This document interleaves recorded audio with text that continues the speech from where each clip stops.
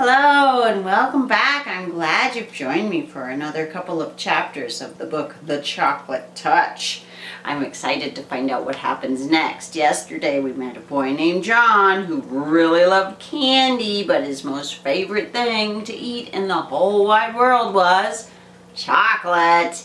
So if you remember, he had bought a box of chocolate at a a candy store that he'd never seen before and he ate that piece of chocolate that was in the box right before bed. So here we go. Let's find out what happens next. Chapter 3.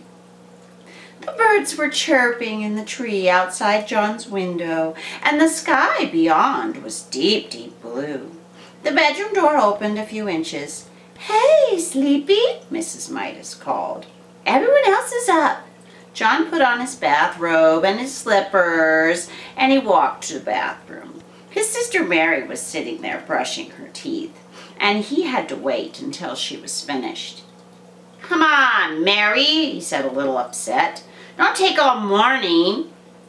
Here you are, Mary said, handing him the toothpaste. While Mary soaped up her face and washed it, John squeezed a little of the toothpaste onto his brush. The paste was pink.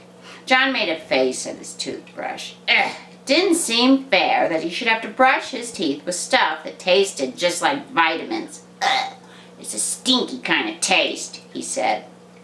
John opened his mouth and pushed the end of the toothbrush in. As soon as it touched his front teeth, he noticed a delicious sweetness in his mouth. A taste of the best kind of chocolate. He pushed the brush back and forth, back and forth, and the taste grew stronger and stronger. He removed the toothbrush. The bristles were brown. Hey, uh, what kind of toothpaste did you give me? John asked. Mary was drying off her face. It's the same kind as always, she said. It says right there on the tube. Blanco Dent, John read. It was the same kind that they had always had. Why, it's chocolate flavored this time, he said. Boy, this stuff is good. Oh, don't be silly, Mary said. Of course it's not chocolate. And she hung up her towel and she swished out of the bathroom. John squeezed more of the toothpaste onto his brush and he kept brushing his teeth. Chocolate again. It was marvelous, rich, sweet, smooth, chocolatey chocolate, like that single piece of chocolate from the box he ate the night before. There seemed to be no further need for the toothbrush, so John rinsed it out and hung it up. He squeezed out another bit of toothpaste right on his fingertip this time. He put his finger in his mouth and he ate the toothpaste off. When he took his finger out again, it was stained chocolate brown. John wasted no more time. He put the end of the toothpaste tube right into his mouth and he emptied the paste onto his tongue. It squeezed out like thick creamy chocolate.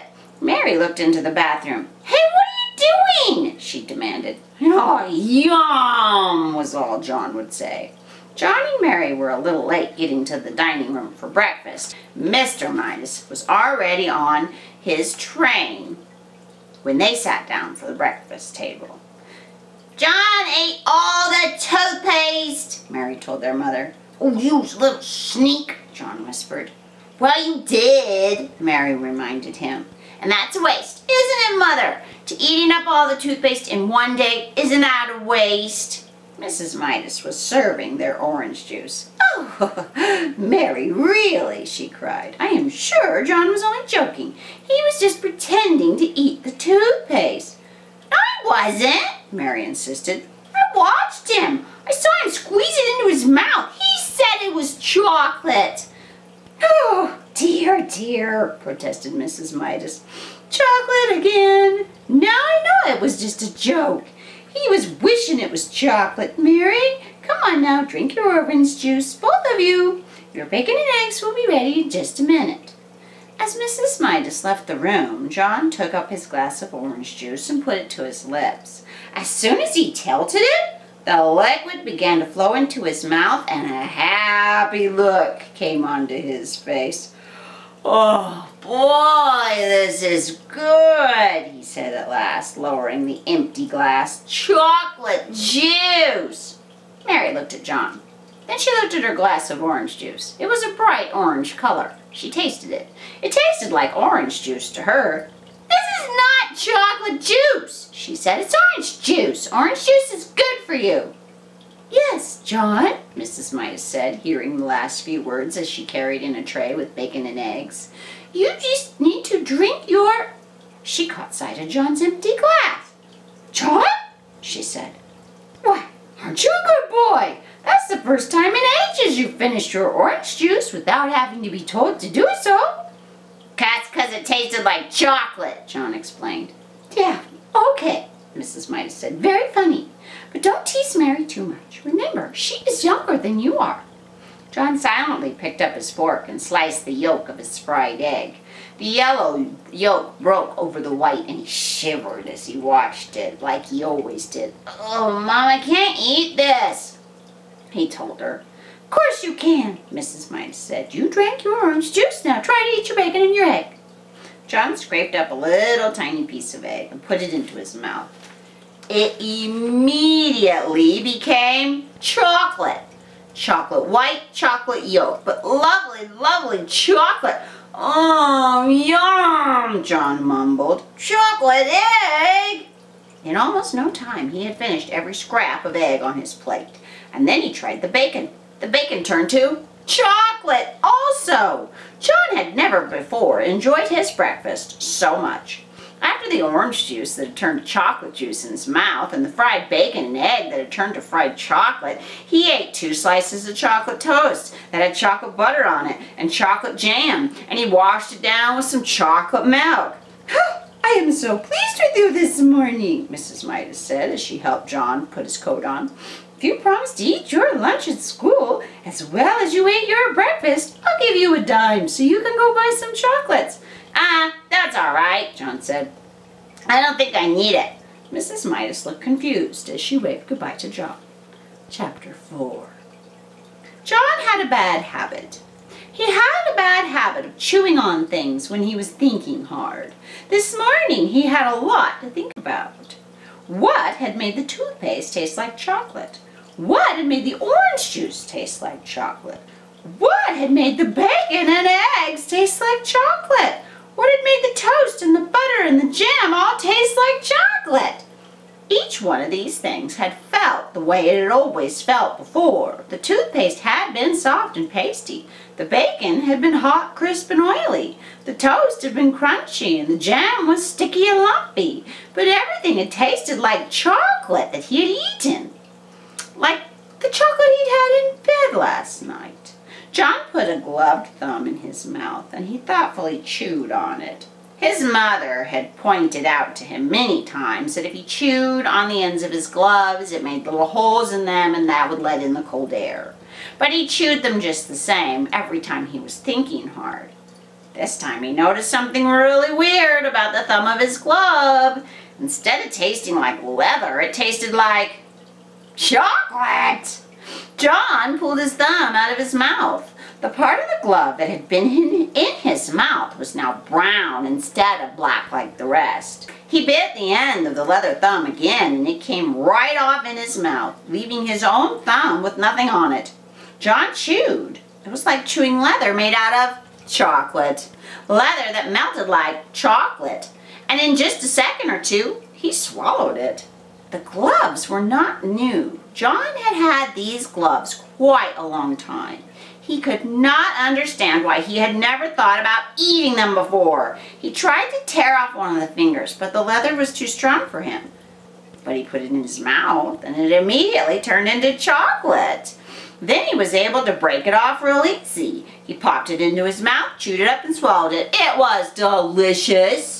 Walking along, eating his glove, John did not notice one of the other children from his school, Spider Wilson, until he heard his voice. John's gone crazy! John's gone crazy! Spider yelled. Then he turned on John. Don't they even feed you where you live? He sneered. Spider was in the grade just above John's grade, and he was the meanest boy in the whole school. John gulped down a large piece of the second glove and looked pleased. What's the matter? Spider demanded.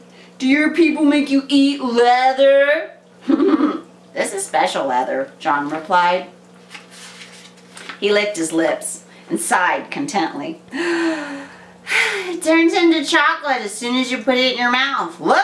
John bit off a piece of the glove's little finger and took it out of his mouth. Now it's chocolate! And then he put it back into his mouth and he gulped it down.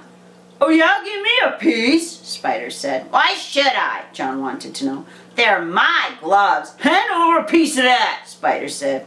Do I ever go and eat your gloves? John asked him with his mouth full of chocolate. Why should I let you eat my gloves? Those aren't real gloves, Spider said. Whenever one person has candy, he's got to share it with everybody else. That's the club rule. What club are you talking about? John asked. Never mind, Spider said. You better let me have some of that chocolate. And without waiting any longer, Spider snatched up what was left of the second glove. John was too surprised to resist, and he didn't even want to anyway. He had the feeling that he'd eaten enough chocolate for a while, and he was starting to get thirsty. Spider ran only a little way ahead when he saw that John wasn't going to fight him to get the glove back, he started to eat his prize. He stuffed that leather right into his mouth and took a big chunk. Spider stopped in his tracks. He frowned and bit deep into the leather again. Ew, it was disgusting. It tasted worse than leather. It tasted like leather that a little boy had made mud pies and snowballs with and who had been petting old dogs with. John thought perhaps he might be getting late for school, so he started to run. He left Spider Wilson on the corner, spitting out the soggy remains of the glove into the gutter. Still giggling to himself about the defeat of his enemy, John walked between the great stone pillars at the entrance of the school grounds. He had gone no more than halfway to the main building when he heard Susan Buttercup calling to him.